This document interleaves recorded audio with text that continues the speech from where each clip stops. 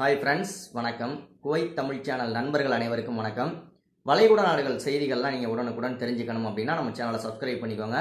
இந்த வீடியோவில் ஓமனை பற்றி ஒரு முக்கியமான செய்தி அப்டேட்டை தான் தெரிஞ்சுக்க போகிறோம் ஓமனில் அதாவது தோஃபார் மாகாணத்தை தவிர மற்ற அனைத்து இடங்களுக்கும் வந்து ஆகஸ்ட் எட்டாம் தேதி அதாவது இன்னையிலிருந்து ஊரடங்களை வந்து தளர்வு விதிச்சிருக்காங்க. ஸோ தோஃபாருக்கு மட்டும் மறு அறிவிப்பு வரும் வரும் வரை அதே போல் முன்னாடி இருந்தது மாதிரி முழு ஊரடங்கு இருக்கும்னு சொல்லியிருக்காங்க.